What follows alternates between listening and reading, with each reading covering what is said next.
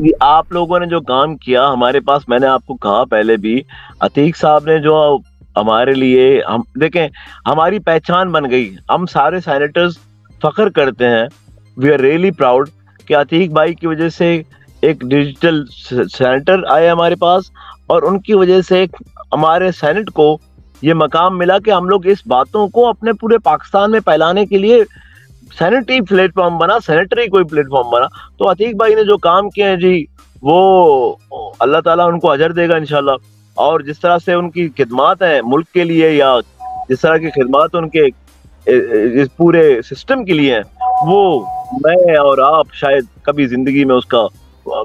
मदावा ना कर सके